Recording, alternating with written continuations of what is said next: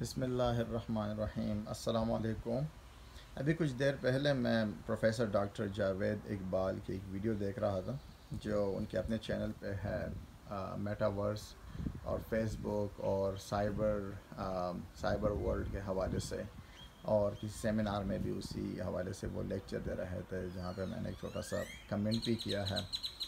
तो देखें फेसबुक जो है वो आ, एक बहुत बड़ा प्रोजेक्ट था और मल्टीनेशनल कंपनीज़ और लोग उसमें इन्वॉल्व थे और हैं। मेटावर्स एक नई कंपनी नहीं है ये पेरेंट कंपनी है। ये पहले ही से प्री प्लान ये चीज़ें होती हैं क्योंकि आप इतने हाइट्स पे जब पहुँचते हैं तो ये ऐसे नहीं होता कि कोई सॉफ्टवेयर इंजीनियर मुँह उठा के आ जाए और वो एक ऐप बना डाले और वो फिर रातों रात में मिलियंस मिलियंस ऑफ़ सब्सक्राइबर पे उसके सब्सक्राइबर बन जाएँ और उसके नेटवर्थ भी इतना वो हाई हो जाए। तो that's that's that's a big and mega plan तो फेसबुक का जो मिशन था और है, और ऑलमोस्ट ये प्रोजेक्ट 80 परसेंट कंप्लीट हो गया है, उसको ख़त्मी तो नहीं कह सकते हैं मगर एक मोड़ पे लाने के लिए ये कोविड का जो ये सीन चला है। कोविड तो वैसे बहुत सी, बहुत से ऐसे प्रोजेक्ट दुनिया में जिनको वो कंप्लीट करने के लिए एक टर्नओवर था। तो जिस, जिसमें एक हिस्सा फेसबुक का है अमेज़ोन का है वर्चुअलाइजेशन का है ऑनलाइन दुनिया का है तो वो भी इसका हिस्सा है। Facebook is the book of because every face has their own book हर इंसान जो है, वो बजाते ख़ुद एक एक किताब है।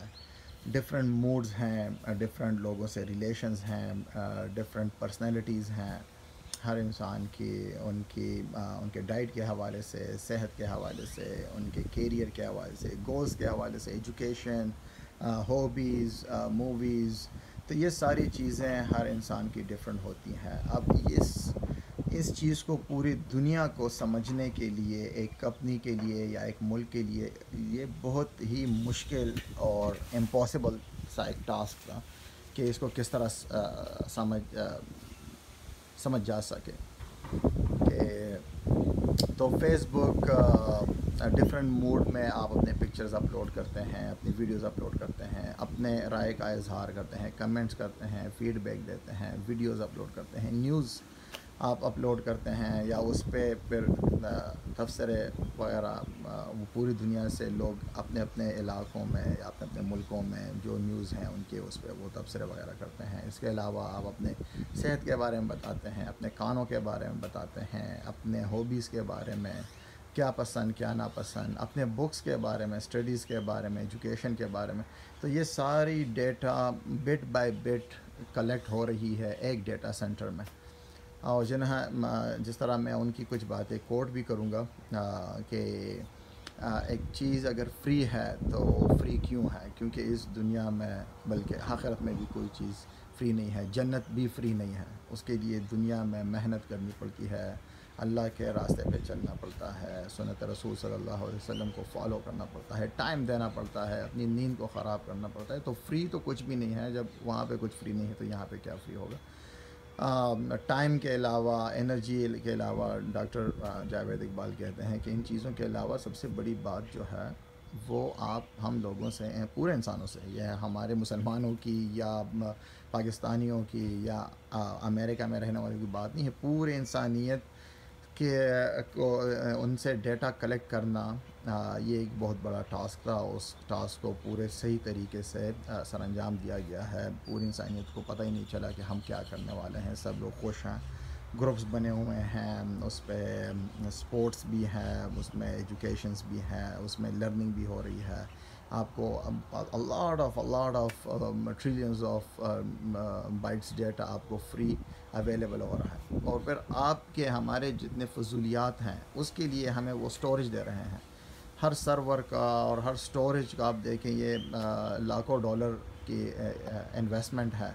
मगर हम घर बैठे बैठे गधों की क्या कह रहे हैं, वीडियो बना रहे हैं बारबेक्यूज़ की वीडियो बना रहे हैं, और इन सारी फजूलियात की वीडियो बना रहे हैं और फ्री अपलोड कर रहे हैं, कोई पूछने वाला नहीं है। फ्री स्टोरेज मिला हुआ है, अगर ये यूट्यूब हो, अगर ये फेसबुक हो। तो कहने का मकसद ये है कि ये सारी चीज़ें तो हैं। अब मेटावर्स है वर्चुअलाइजेशन ऑनलाइन पे जाने का। लोगों को क्या ज़्यादा पसंद है? लोग क्या करना चाह रहे हैं? कहाँ पे जाना चाह रहे हैं? उसके लिए करेंसी भी बिल्ड हो गई है, जिस तरह क्रिप्टो है।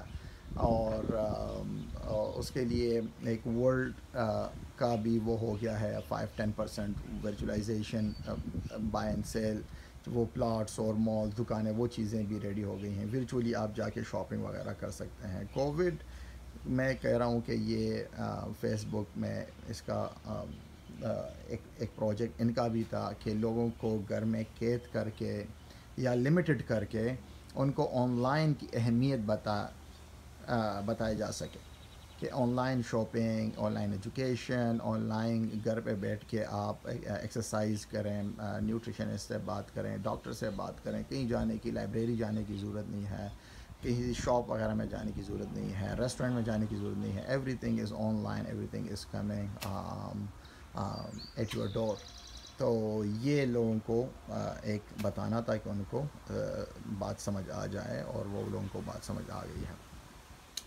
तो ये अब विजुअलाइजेशन पे जा रहे हैं। दूसरा ये है कि इस पर तो बहुत सी वीडियोस हैं मगर इस वीडियो को बनाने का मकसद ये था कि हम इसको चेंज नहीं कर सकते। ना तो हम सेटेलाइट पे जा सकते हैं वो चेंज कर सकते हैं। ना हमारी इतनी औकात है कि हम उनको बात करें कि ये चीज़ गलत है या सही है। जो भी सही है गलत है हम उसका हम हम, हम कौन होते हैं कि हम उसको चेंज कर सकें।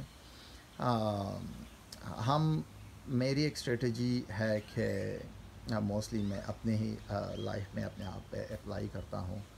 और दूसरा यह है कि मैं आपको ये बता दूँ कि मैं भी इसी का हिस्सा हूँ विजुअलाइजेशन मेटावर्स क्योंकि यूट्यूब मेरा भी चैनल है और उस पर वीडियोज़ हैं, और अच्छी बातें भी होती हैं, बुरी बातें भी होती हैं।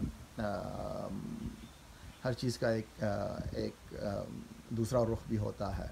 अब डॉक्टर प्रोफेसर जावेद इकबाल को ले लें डॉक्टर इसरार अहमद को ले लें या इस तरह और बहुत सी अच्छी जो चीज़ें हैं जो लेक्चर्स हमने ज़िंदगी में नहीं सुने, या जब वो हयात थे हम ना उनसे मिले हैं, ना उनसे कोई बातचीत हुई है, मगर यूट्यूब के हवाले से ऑनलाइन के हवाले से शायद उन्होंने वो लेक्चर सौ लोगों को, हज़ार लोगों को, दस हज़ार लोगों को वो लेक्चर दिया हुआ है, मगर हम यहाँ पे लाखों लोग उनसे इस्तेफ़ादा हासिल कर रहे हैं।